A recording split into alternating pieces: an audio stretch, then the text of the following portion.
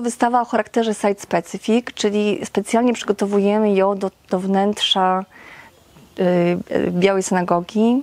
Ta tkanina po, powinna być zawieszona, zawieszona po środku synagogi, tak? Jak takie, jak takie niebo. Wszystkie te tkaniny mm, znalazłam, znaczy w zasadzie nie to, że znalazłam, poprosiłam od od ludzi e, z moich rodzinnych wsi na Białostoczyźnie. Są to wsie białoruskie, polskich Białorusinów. Oni mnie wpuszczali do swoich domów, wpuszczali mnie do swoich strychów, szpicherków, stodół, e, że, że mogłam, y, mogłam wziąć za ich zgodą worki, które były używane wcześniej do ziemniaków E, I te tkaniny, tutaj jest bardzo dużo materiałów tkanych ręcznie przez e, panie, które nie wiem, no można powiedzieć, że pokolenie 100 lat temu, pań, które e, robiły na krosnach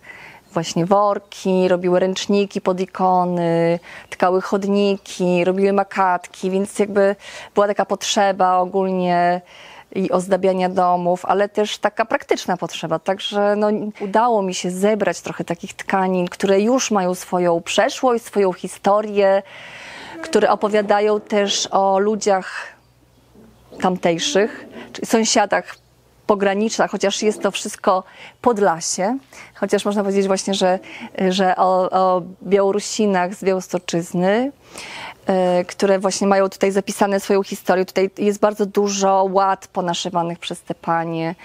Tych materiałów nie wyrzucano, przechowywano, jakby szanowano. Taki, taki przedmiot miał służyć już przez jakiś czas jak najdłużej. Są tutaj też y, fragmenty tkanin takich siennikowych na przykład, tak? Więc to też jest jakaś kolejna opowieść, kolejna historia moich ludzi, czy, czy historii z mego miejsca e, urodzenia i z mego miejsca takiego, no z takiej mojej baćkałszczyny, czyli małej ojczyzny. Jakby w samej tej tkaninie jest bardzo dużo już opowieści z przeszłości, ludzi tamtejszych, dla tutejszych, tak, żeby na tej tkaninie opowiedzieć historię czy, czy jakąś opowieść dotyczącą sejneńskiego nieba, czy atlasu sejneńskiego nieba.